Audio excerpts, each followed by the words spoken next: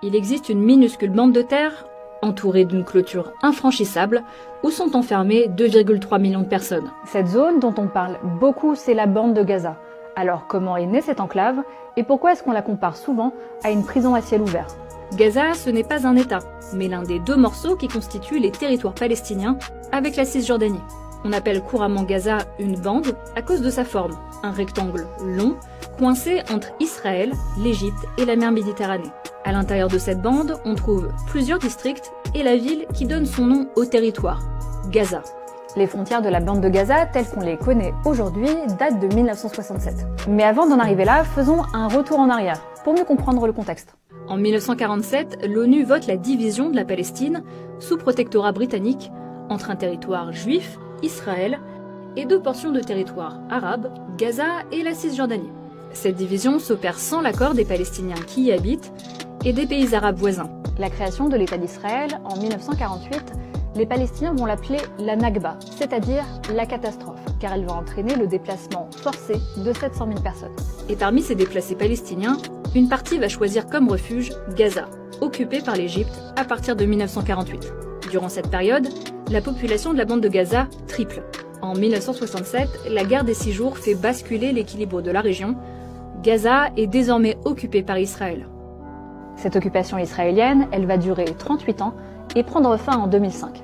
Mais dans les années qui suivent, la situation des Gazaouis ne va pas pour autant s'améliorer. Et ça en raison d'un moment clé. En 2006, le parti islamiste du Hamas, qui prône notamment la destruction d'Israël, remporte les élections à Gaza. C'est le début d'un grand changement politique. Le parti historique, le Fatah, est écarté du pouvoir à Gaza, après une guerre civile qui fera plus de 600 morts. En réaction, Israël, soutenu par l'Égypte, impose un blocus autour de la bande, qui est toujours d'actualité. Concrètement, ça veut dire que tout ce qui entre ou sort de Gaza, que ce soit des personnes ou des marchandises, est contrôlé par les forces israéliennes ou égyptiennes. Dans les faits, très peu d'habitants de Gaza sont autorisés à travailler en Israël. Et pour les autres, il est souvent impossible de sortir.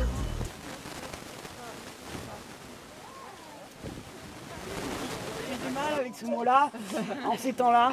Donc, soyons de ce côté-là, n'est-ce pas, euh, de la route, à des moments où ils partent. Alors, cette lumière est magique. Ok, euh, je voulais surtout vous dire un grand merci. Malgré la guerre médiatique qui a lieu ici, les amalgames, les tensions émotionnelles que ce conflit réveille, et le muselage qui est fait contre tous les soutiens à la Palestine aujourd'hui, malgré le fait que l'Occident ne pleure pas toutes les victimes de la même manière, et que l'histoire qu'on raconte est majoritairement celle des vainqueurs et du pouvoir, malgré cela, les morts nous disent quelque chose et ils nous appellent. Une fois que le bruit des armes laissera la place au silence,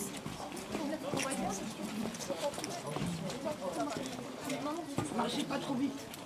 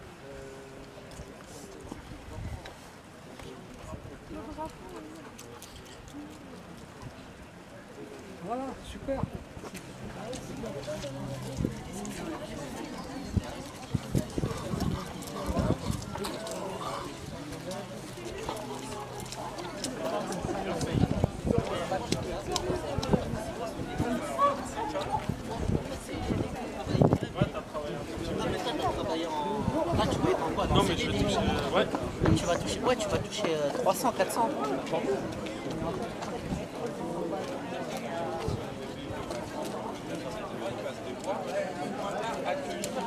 Les gens que leurs maisons elles ont été détruites, tu vois.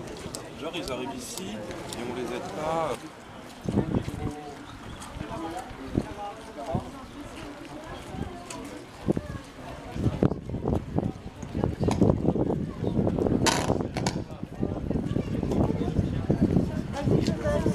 Anne,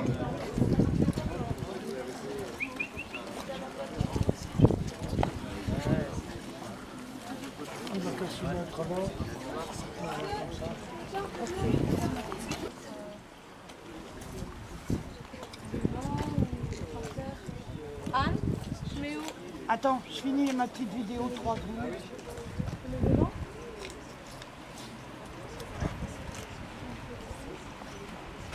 Je prends la parole au nom de l'association France-Palestine Solidarité 89. Comment C'est bon Alors déjà, je vous remercie parce que je pensais vraiment pas que nous serions que nous serions aussi nombreux, surtout avec la météo. Donc vraiment, je vous remercie. C'est vraiment merci pour le peuple palestinien. Pour mieux comprendre les enjeux qui se jouent en Palestine, un petit rappel depuis 1947. L'Assemblée générale de l'ONU en 1947 adopte le plan de partage de la Palestine. Un État juif sur 56% et un État arabe sur 43%, ainsi qu'un statut international pour Jérusalem. Mais ce plan ne pouvait déboucher qu'à une guerre, puisque l'immigration juive s'est faite massivement, ce qui a conduit à l'expulsion des Palestiniens, ce qu'on appelle la NAPCA, la Nakba, la catastrophe en français. Le mouvement sioniste expulsera des territoires la population palestinienne à 80%. Celle-ci prendra l'exil au Liban, en Jordanie, en Syrie, à Gaza et en Cisjordanie. Jordanie. 800 000 Palestiniens sont expulsés.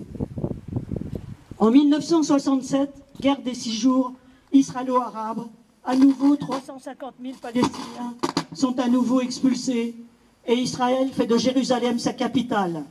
Dans le même temps, elle implante les premières colonies en territoire occupé.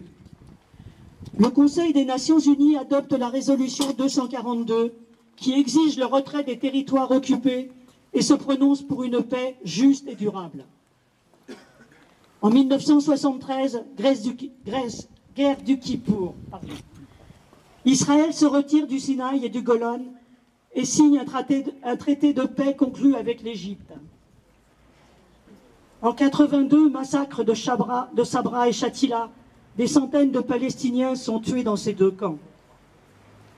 87, première intifada, la révolte des guerres, mouvement populaire palestinien et non armé, rassemblement massif, grève pour protester contre l'occupation de leurs terres.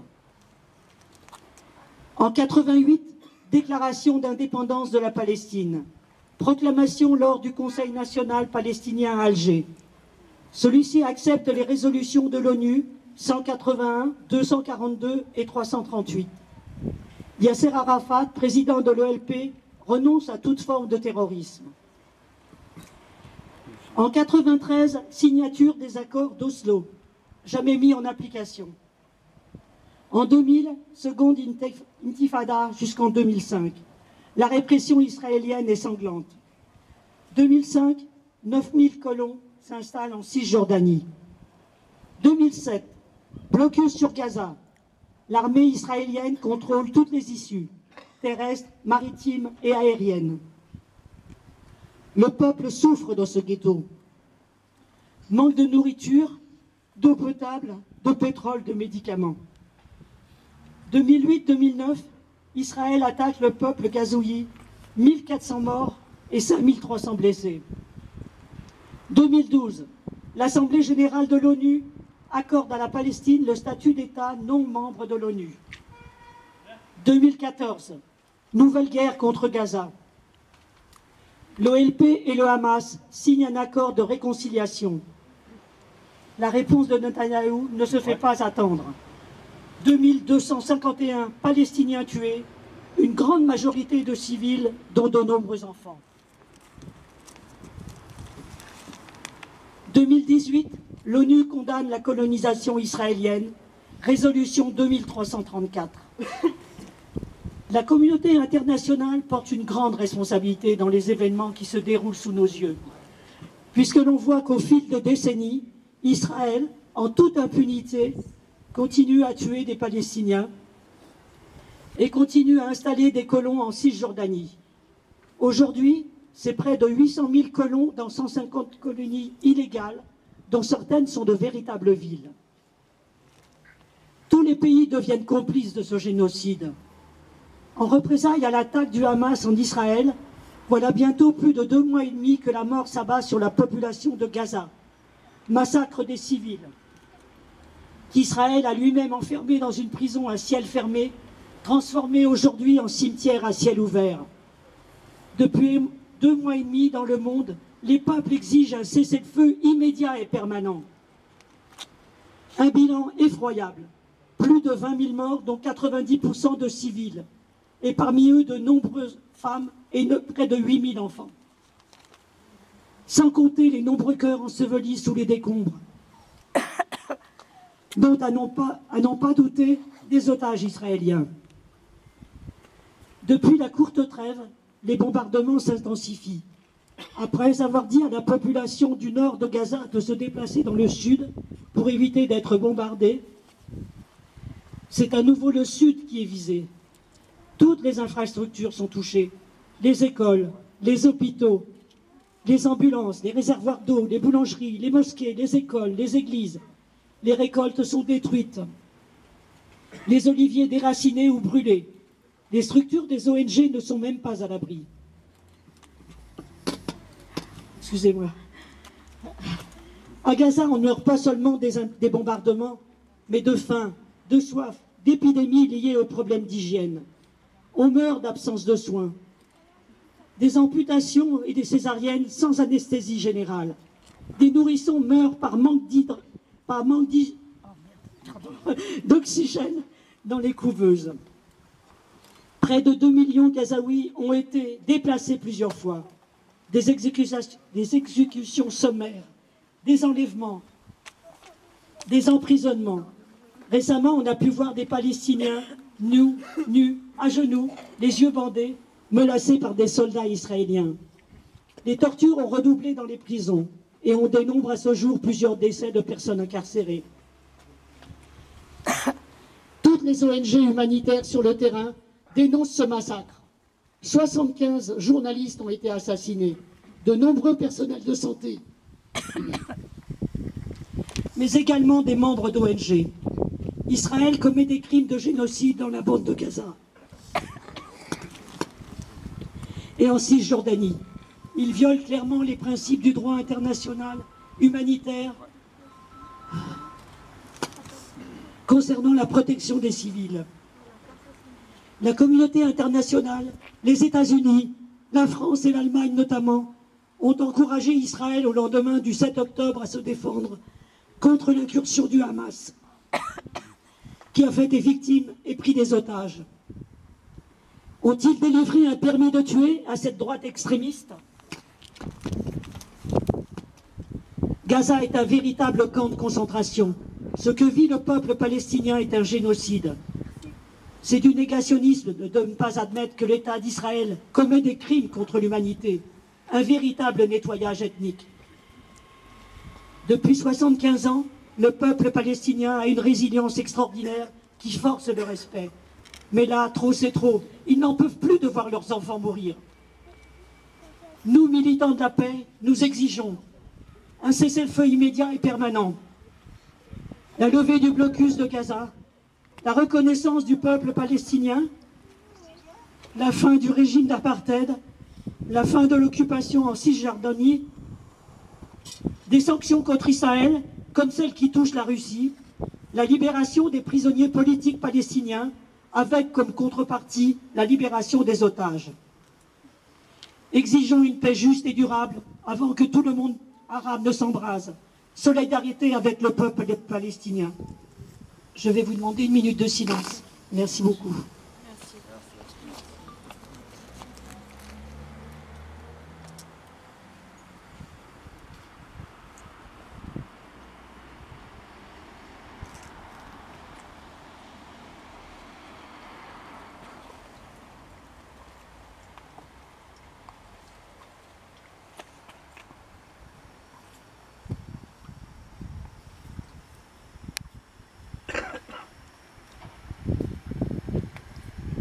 Merci. Merci Josette. Merci Nolwenn de m'avoir contacté un jour. Merci à vous d'être là, je me sens moins seule. C'était difficile de trouver des mots euh, pour parler de Gaza, de la Palestine, de la Cisjordanie. Alors, ce, ce, ne sont pas mes mots, ce sont les mots de Majed Bamia, qui est observateur permanent pour l'État de Palestine aux Nations Unies. A des tentatives pour connaître le nombre exact de victimes à Gaza. Je peux vous dire le nombre de victimes. 2,3 millions de Palestiniens. Il y a 2,3 millions de Palestiniens, de personnes qui sont tuées, blessées, assiégées, privées des objets essentiels à leur survie. Israël traite tous les Palestiniens comme des terroristes ou des sympathisants de terroristes ou des boucliers humains. Israël dit au monde, nous pouvons tuer n'importe quel Palestinien et chaque Palestinien. Ils vous ont dit de détourner le regard, de regarder ailleurs. Il n'y a, rien à voir. S'ils sont tués, il n'y a pas de raison à donner, puisque ce sont soit des terroristes, soit des sympathisants terroristes, soit des boucliers humains. Nous ne pouvons pas les blâmer. Ils disent, nous pouvons bombarder des quartiers entiers, vous pouvez vous réveiller et entendre que les 300 personnes ont été tuées, parmi lesquelles vous trouverez la moitié ou 40% d'enfants. Et il y aurait une très bonne justification pour cela qu'ils n'ont pas besoin de donner. Il est honteux honteux que certains médias et certains hommes politiques ont fait écho à une manière aussi méprisable de qualifier des gens, de les déshumaniser, de tenter de justifier leur meurtre. Je dois vous dire qu'à Gaza, maintenant, chaque décision est une question de vie ou de mort. Vous vous réveillez le matin et la chambre dans laquelle vous avez décidé de dormir, c'était une question de vie ou de mort vous décidez de quitter votre domicile ou de rester chez vous, c'est une question de vie ou de mort. Vous êtes informé qu'il y a une livraison d'aide humanitaire pour vous au centre de distribution. Vous avez droit à un sac de farine. Que vous y alliez ou que vous décidiez de rester affamé, c'est une décision de vie ou de mort. Si votre enfant est blessé, essayez de l'amener à l'hôpital, c'est une question de vie ou de mort. Chaque jour, il y a 2,3 millions de Palestiniens qui se battent pour leur vie. Chaque jour, il y a 2,3 millions de Palestiniens qui se réveillent le matin sans savoir si elles survivront jusqu'au soir. Qui dorment la nuit sans savoir si elles survivront jusqu'au matin. Appeler à un cessez-le-feu est la seule chose humanitairement décente à faire. Qu'est-ce qui prend si longtemps à la Cour pénale internationale? Qu'est-ce qui est si compliqué dans cette affaire du point de vue juridique? Ce n'est pas la première guerre à Gaza. Ça fait 75 ans. Bien sûr, ça culmine maintenant. Ça culmine maintenant parce que le gouvernement israélien n'a jamais été inquiété. Ils construisent des colonies tout en bombardant les habitants de Gaza. Existe-t-il un seul expert juridique, un seul expert juridique décent qui puisse dire quelle difficulté il y a à monter un dossier contre la colonisation? Ils l'annoncent, ils en sont fiers. Nous avons le droit de créer une colonie, nous la financerons, nous la construirons, nous armerons les colons et nous aiderons à déplacer les gens.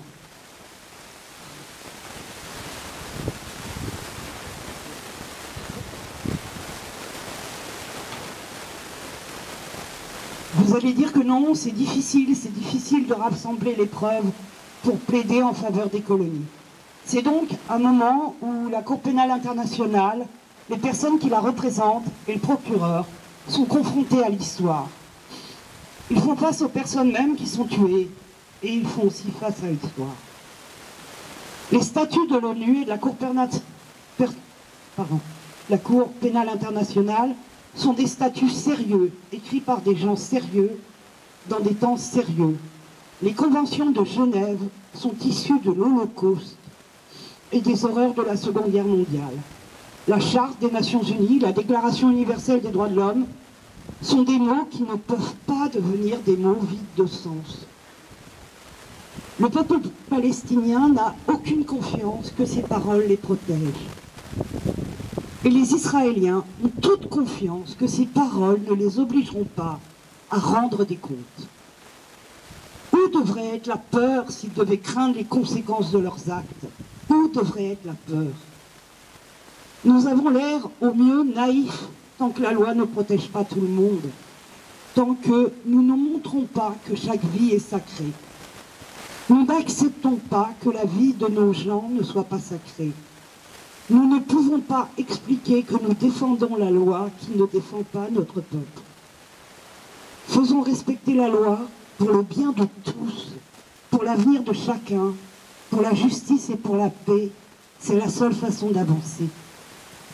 Un poème de l'activiste et autrice palestinienne Rafef Ziada, écrit en 2011 en référence au bombardement de Gaza de 2009. Aujourd'hui, mon corps était un massacre télévisé. Aujourd'hui, mon corps était un massacre télévisé. À faire tenir en audioclip et nombre de mots limités.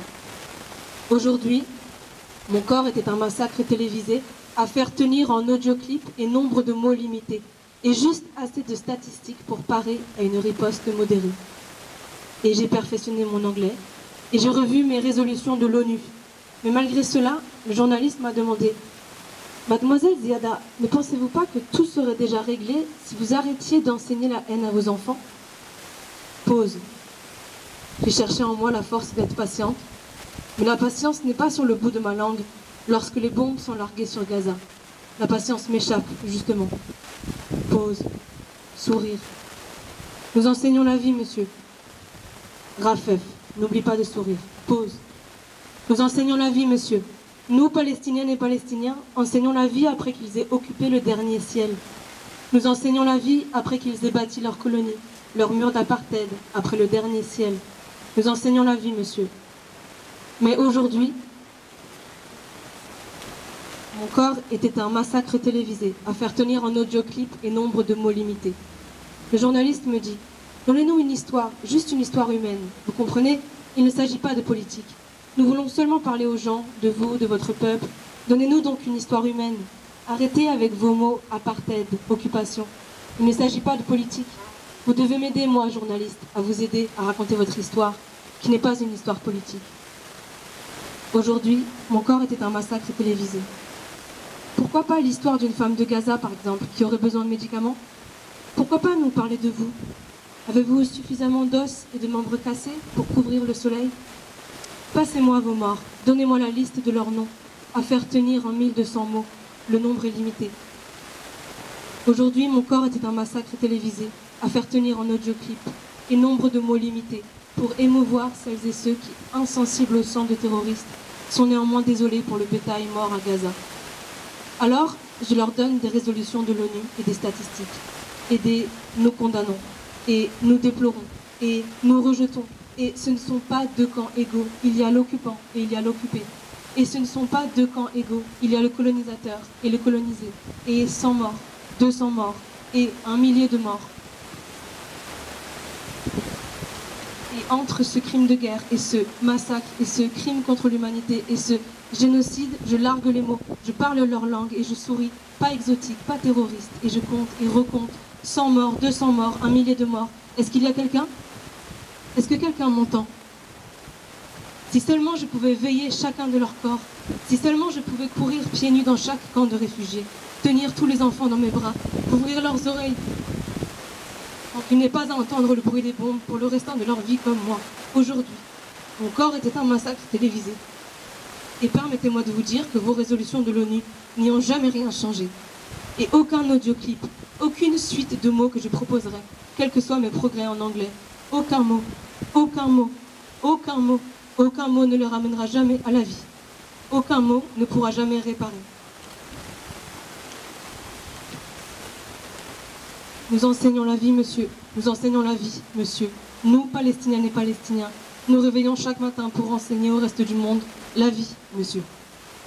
Traduit avec la permission de l'autrice à usage militant, décembre 2023. Du coup, euh, vous, pouvez, voir sur euh, Internet. Euh... Bon, merci beaucoup à, à tous et à toutes. Je vous demanderai de pouvoir ramener les, drapeaux qu'on vous a prêtés tout à l'heure, s'il vous plaît. Merci.